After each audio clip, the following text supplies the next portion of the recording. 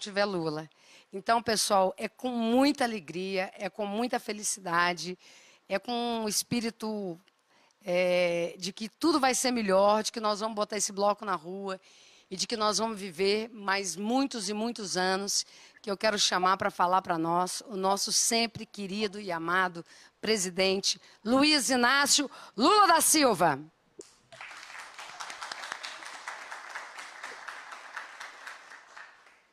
Eu quero primeiro dizer para vocês e mostrar que eu não estou doente.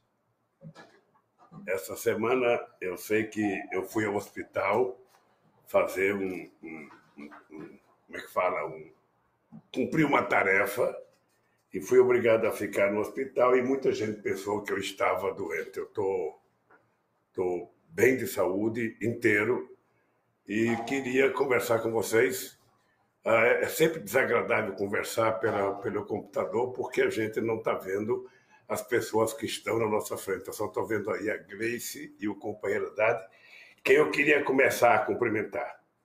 Eu queria começar a cumprimentar a nossa companheira Grace Hoffman, nossa presidenta, nossa companheira Dilma Rousseff, que falou de forma muito bonita, o companheiro Fernando Haddad, que está virando muito socialista nos últimos discursos dele. Eu, sinceramente, Haddad, estou ficando praderosamente feliz com essa evolução para o socialismo. Ainda que ontem eu assisti um filme da Roda de Luxemburgo, eu não sei se você assistiu, eu acho que você está, como eu, evoluindo.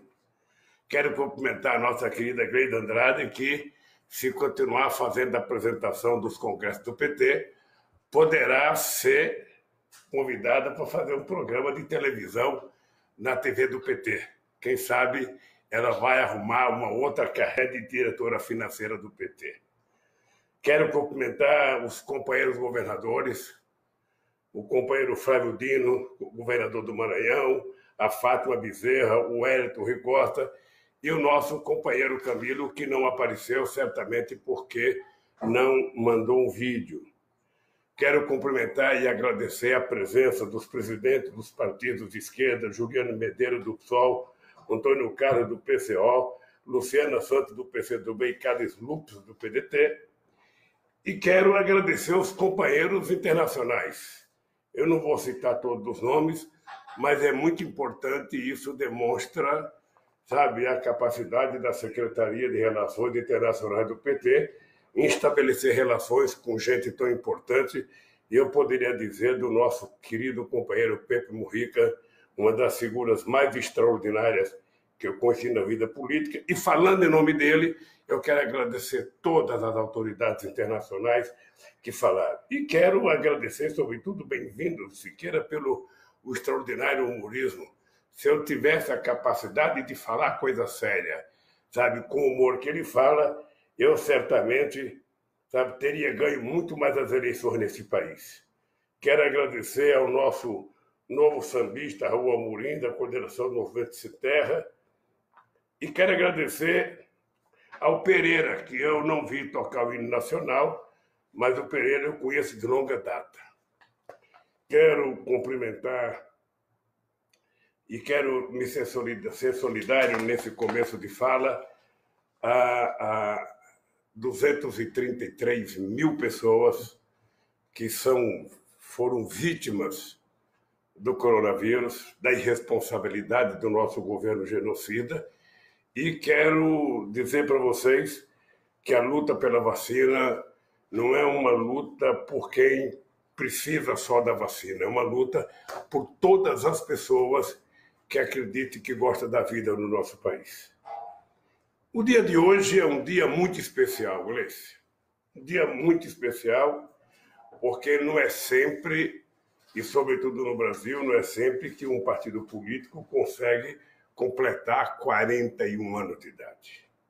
No Brasil, os partidos trocam tanto de nome, os partidos mudam tanto de nome, que seria importante que o PT pudesse fazer um estudo para mostrar para a sociedade brasileira que hoje no Brasil você não tem mais partidos políticos, com raríssimas exceções, você tem cooperativa de deputados que se juntam para criar um partido, para brigar pelo fundo eleitoral, pelo fundo partidário, mas que não tem nenhum compromisso ideológico como os compromissos que o PT tem assumido publicamente. E eu acho, Gleice, que o PT poderia, quem sabe, dar uma contribuição através da sua Secretaria de Formação Política e distribuir para cada militante do PT que fizer um curso no PT um livro escrito pelo Mário Pedrosa, sabe, que tem tudo do PT. Tem o estatuto, tem a carta de princípio, tem o manifesto do PT. É um livrinho simples que eu acho que cada, cada petista deveria saber as razões pelas quais nós criamos esse partido político com uma geração extraordinária. Eu tive o prazer de nascer, sabe, de participar do sindicato numa geração extraordinária. E tem um outro livro aqui que tem pessoas como Chico de Oliveira, Zé Disseu, Marlena Chauí, José Genuíno, Pim de Arruda Sampaio, Luiz Buxiguem, Emir Sade, sabe, que as pessoas poderiam também ler para ter, quando tiver dúvida do PT, ler um livro desse.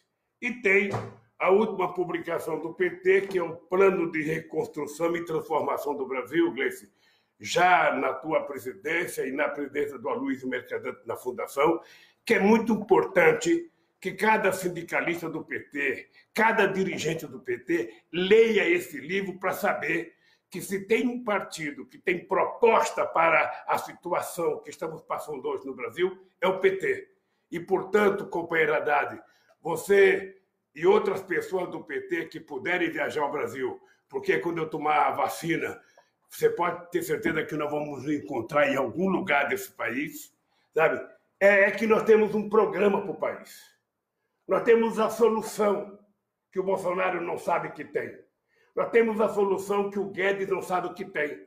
Nós temos a solução para o país que essa gente não acredita que seja possível colocar em prática, porque eles são de uma geração que ganha as eleições não para governar, eles ganham as eleições para vender o patrimônio que foi construído em benefício do povo brasileiro, de empresas públicas sólidas, rentáveis, geradora de emprego e geradora de formação de ciência e tecnologia no nosso país, para vender a preço de banana para os nossos concorrentes. É por isso que o Banco Central adquiriu sua autonomia hoje. Você veja que em 24 horas, em 24 horas, eles conseguiram no Senado e na Câmara aprovar com rapidinho, aprovar muito rapidinho a entrega da administração do Banco Central ao sistema financeiro brasileiro e, quiçá, ao sistema financeiro internacional. Então, eu, eu, eu fico imaginando as dificuldades, Gleice, a dificuldade que o nosso partido tem que ter uh, daqui para frente para tentar recuperar a confiança do povo brasileiro e para tentar mostrar ao povo brasileiro que é possível e somente com muita luta a gente recuperar aquilo que o povo brasileiro já tinha conquistado. Você está lembrado, vocês estão lembrados que eu digo sempre que para construir uma conquista, para construir uma obra, você demora anos e anos. Para destruir, se destrói num dia. E eles estão conseguindo de destruir, estão conseguindo desmontar em poucos meses aquilo que foi construído em muitos anos no nosso país. É o fatiamento da Petrobras, é a venda das refinarias, é a tentativa de vender as coisas sem precisar passar pelo Congresso Nacional, é a venda da Eletrobras, é, é a venda de, de, das refinarias como a última da Bahia, e, e, muitas vezes nós não estamos conseguindo reagir a uma, a uma certa a uma certa a um certo anestesiamento na sociedade brasileira. É o 39 reitor que o Bolsonaro indica que não foi escolhido nem por professor nem por aluno. Ou seja, são pessoas que não, não estão talhadas para fazer o trabalho, sabe, com a, com, com a aprovação dos alunos, e eles vão desmontando, é diminuir o dinheiro de investimento em ciência e tecnologia, de diminuir o dinheiro investido na universidade, de diminuir o dinheiro investido na saúde, sabe, acabar com o auxílio emergencial no momento em que a sociedade brasileira está vivendo um momento de pior sofrimento. Eu moro em São Paulo desde 1956, ando em São Paulo há muitos anos. Eu nunca vi o abandono que o povo brasileiro está, como está agora, nas mãos dessa gente que está governando o país. E eu fiquei pensando, bom, que discurso que a gente pode fazer no aniversário do PT? Eu fiquei pensando se seria correto uh, fazer um discurso falando do Bolsonaro e resolvi não fazer. Eu fiquei pensando em fazer um discurso sobre a minha situação depois da decisão de ontem na Suprema Corte. E achei que não vale a pena fazer um discurso sobre a minha situação pessoal, no momento em que a gente tem que estar muito mais preocupado com os problemas de 210 milhões de brasileiros ou 220 milhões de brasileiros, dos quais milhões e milhões de desempregados, milhões e milhões trabalhando em aplicativos sem nenhum direito, sem nenhuma garantia, milhões de pessoas à espera de uma vacina e ainda sendo enganada porque o presidente e sua gente continuam tentando brincar com a saúde do nosso povo, mantendo no Ministério da Saúde um ministro que não entende nada de saúde. Então, eu resolvi que não ia fazer discurso sobre a minha situação, porque eu pretendo fazer um pronunciamento específico, fora do aniversário do PT, sobre a minha situação específica e o meu julgamento. Mas eu queria chamar o PT a fazer uma reflexão. O nosso último congresso foi, foi no dia 23 de 11 de 2019. Se não me falha a memória, na Casa de Portugal, acho que nós fizemos o nosso congresso. E eu pedi para a assessoria fazer um pequeno levantamento o que aconteceu com o povo brasileiro depois que nós fizemos aquele congresso. Ou seja, um ano e dois meses depois do nosso Congresso. O que aconteceu com a classe trabalhadora? O que é que nós conquistamos? O que aconteceu com o movimento sindical? O que é que foi conquistado? O que aconteceu com todos os movimentos sociais nesse país e suas lutas? Ou seja, na verdade, na verdade, Gleice, nós estamos vivendo um momento em que não houve uma única melhora de qualquer conquista para qualquer organização social nesse país. Seja para o sindicato, seja para a CUT, seja para o movimento sem terra, seja para o movimento sem teto, seja para, para, o movimento de saúde de educação, nada. Então eu estava vendo aqui o que, que piorou para a classe trabalhadora para a gente ter uma noção da tarefa que o PT tem para frente. A tarefa do PT é muito grande. Por isso, o petista não pode desanimar. Por isso, o petista não tem razão. Se tem um ser humano na face da terra, nesse Brasil, que não pode desanimar porque as coisas estão difíceis, é um petista. Nós nascemos e nós fomos criados para falar por aqueles que não tinham nem vez e nem voz. Nós nascemos para defender os direitos da classe trabalhadora. Nós nascemos para tentar provar ao mundo que era possível construir um país mais justo, socialmente mais humano, mais democrático e que as pessoas mais pobres iriam subir alguns degraus de ascensão na vida social. E isso nós provamos que é possível.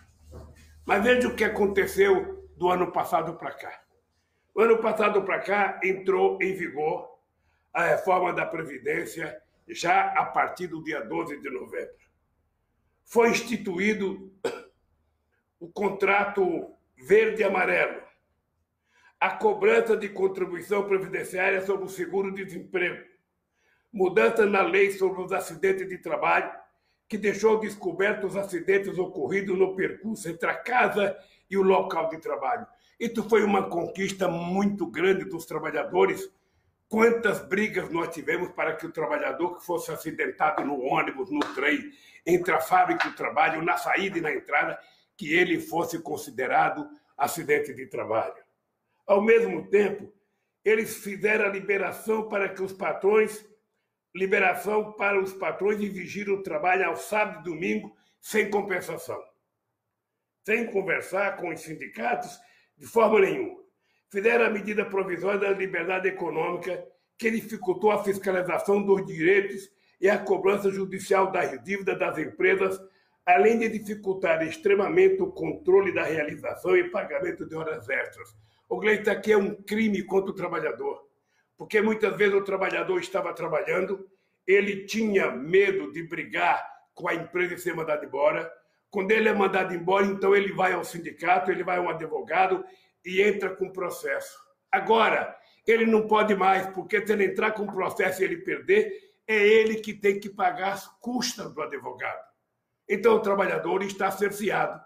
Quando a gente defendia a tese de que o promotor que acusar uma pessoa, essa pessoa foi inocente, o promotor paga as custas do processo, ele dizia que nós estávamos querendo fazer mordaça para os promotores. E fizeram uma mordaça para toda a sociedade brasileira. Ainda, o desemprego aumentou você veja que interessante. O desemprego aumentou 11, de 11,9% para 13,1%. A quantidade de pessoas desempregadas aumentou de 11,5% para 14 milhões e 100 mil pessoas. A quantidade de trabalhadores com carteira assinada caiu 3,3 milhões. E a quantidade de pessoas sem trabalho formal ou informal aumentou, de 8, aumentou em 8,8 milhões. O preço dos alimentos acumulou aumento médio de 15,5%, 15 três vezes maior do que a variação do INPC. O óleo de soja subiu 104%, o feijão 81,4%, o arroz 75,3%, a batata 67,3%. Não foram apenas a Mercedes e a Ford que saíram do país. Em 2020, saíram do país 87 bilhões para outros países o dobro do que havia ocorrido em, 1980, em 2019. O Supremo Tribunal Federal autorizou o fatiamento das subsidiárias da Petrobras para que sejam vendidas sem aprovação do Congresso Nacional e que se soma e que se soma a Eletrobras, os Correios, que estão na lista de privatizações do governo. O STF autorizou que sejam privatizados sem lei específica para isso a Casa da Moeda a Data Breve e a Feitec e outras empresas do povo brasileiro. O Senado agora e a Câmara conseguiram facilitar com que o Banco, o banco Central fosse efetivamente sabe, autônomo. E o governo anunciou o fim do auxílio emergencial. Eu citei algumas coisas, Gleice, para chamar a atenção do Partido dos Trabalhadores. O Partido dos Trabalhadores tem que compreender ao completar 41 anos de idade, eu já disse isso em novembro de 2019, que o povo brasileiro está precisando do PT mais do que em qualquer outro momento histórico. O PT precisa ter certeza de que nós precisamos ir para a rua conversar com esse povo, porque eu acho que o povo precisa se levantar. O povo precisa brigar porque essa política de terra arrasada desse país vai transformar o Brasil, que já foi a quinta economia mundial, numa república de bananas, onde os trabalhadores são tratados sem direito e eles estão pensando ainda cada vez mais reduzir a política tributária, reduzir a carga tributária, dizendo que isso é bom para o Brasil. Todos os países pobres do mundo tem uma carga tributária muito baixa. E todos os países ricos, socialmente, com conquistas extraordinárias, têm uma carga tributária em que os ricos pagam mais do que os pobres.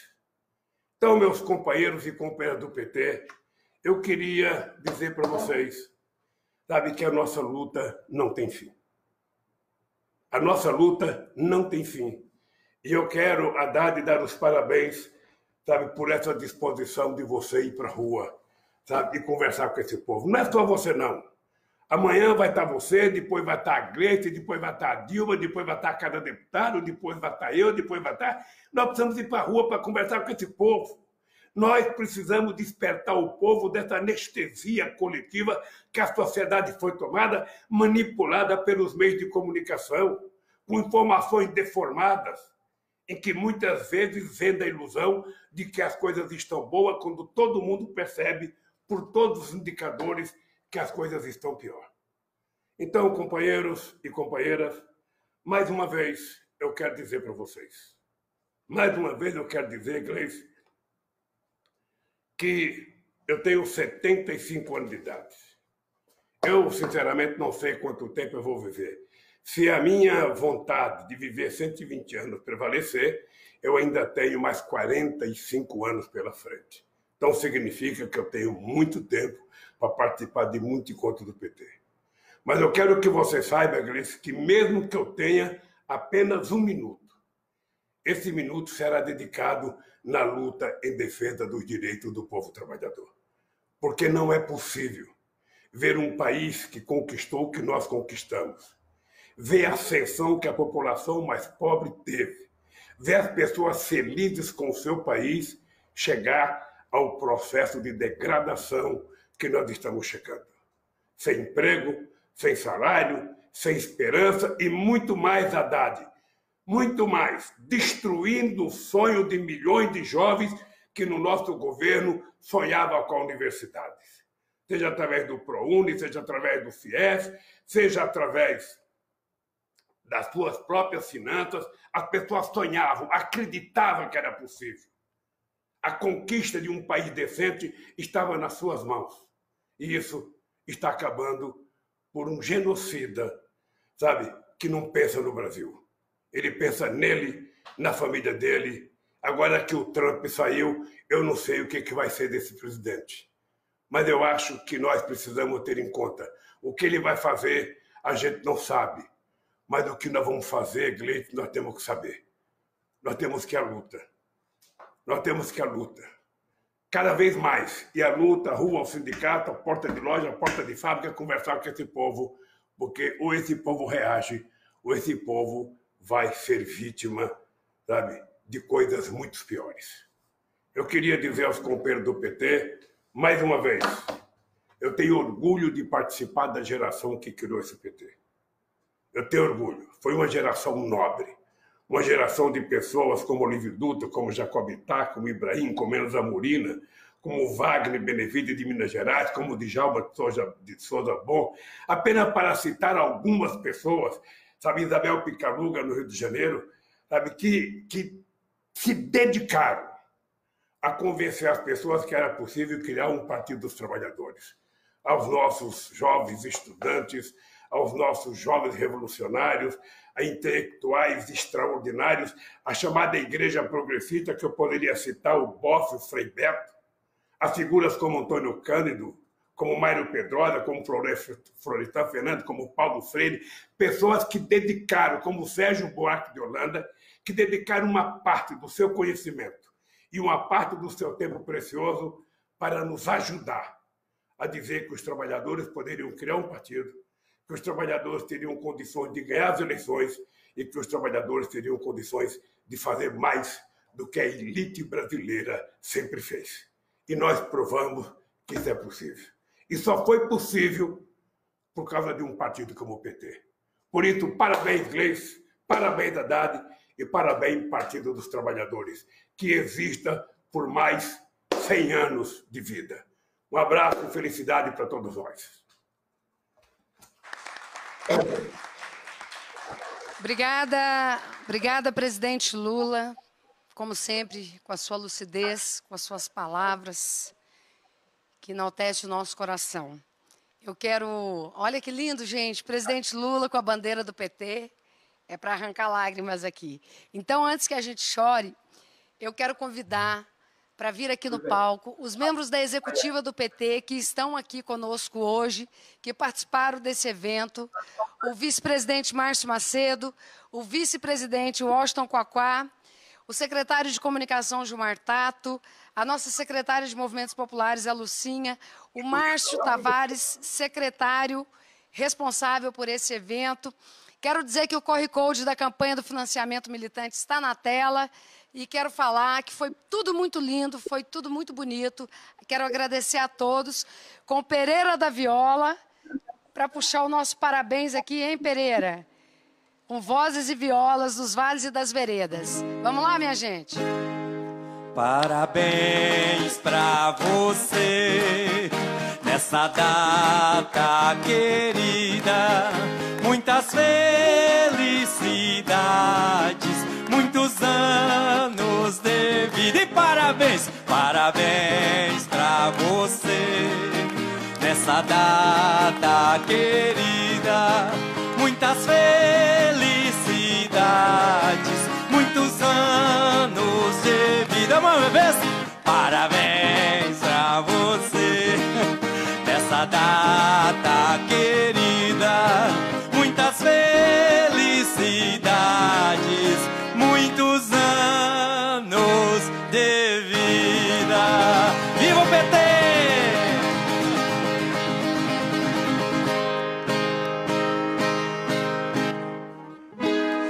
Aproveitando uh, esse momento em que nosso presidente, eterno presidente Luiz Inácio Lula da Silva, ainda nos assiste, eu quero aqui trazer uma canção que, principalmente, para homenageá-lo naquele momento em que, no dia 20 de novembro, ele é, fez aquele vídeo tão maravilhoso que me emocionou muito.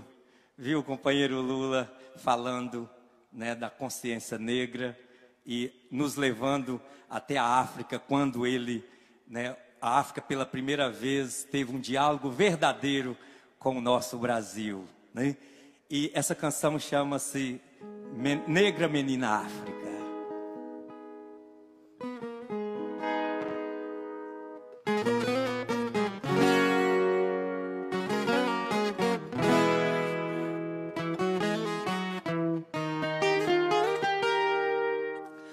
África, acorrentada África, violentada África, por homens hipócritas. África, os teus filhos são bravos, nunca mais ser escravos pela rota do Atlântico. África, tua beleza física fez nascer esta força do poder popular. África, tua ânsia de glória ficará na história. Serás livres para amar. Esta tua cor da pele, esta tua cor da voz, esta tua cor do canto que cantamos nós. Vocês podem até bater uma palminha aí. Esta tua cor da pele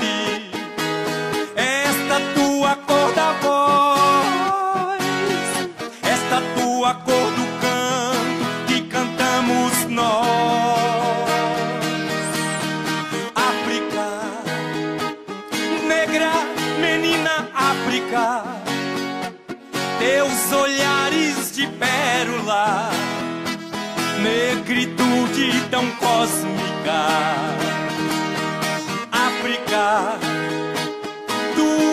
ânsia de glória ficará na história. Serás livres para amar. Esta tua cor da pele, esta tua cor da voz, esta tua cor do canto que cantamos nós. Esta tua cor da pele, esta tua cor da voz, esta tua cor do canto que cantamos nós, África.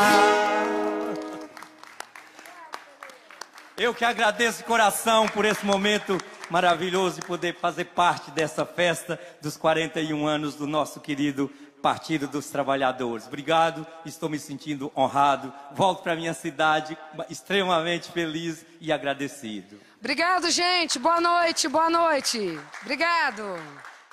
Tchau, presidente. Tchau, Janja. Tchau.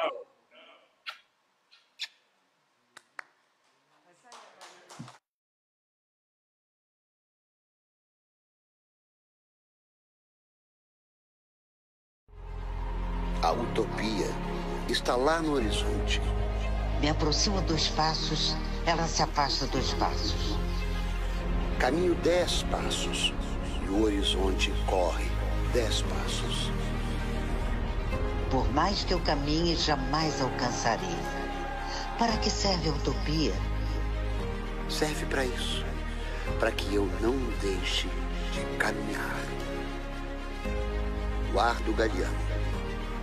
Nesses 40 anos, nenhum horizonte pareceu tão distante. A cada passo, um novo sonho.